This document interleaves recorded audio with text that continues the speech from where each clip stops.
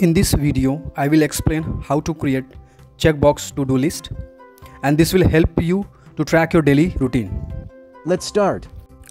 Go to insert tab and in the control section insert checkbox, copy it and paste for entire column. Write formula countif equal to countif bracket open then select checkbox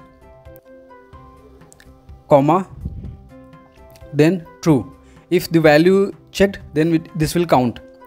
Bracket close slash then counta count all.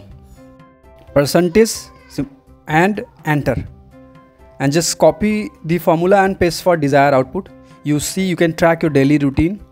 Day 1 day 2 day 3 day 4 day 5 like this. I hope you understand. Please hit like button and do not forget to subscribe. Please check out my next video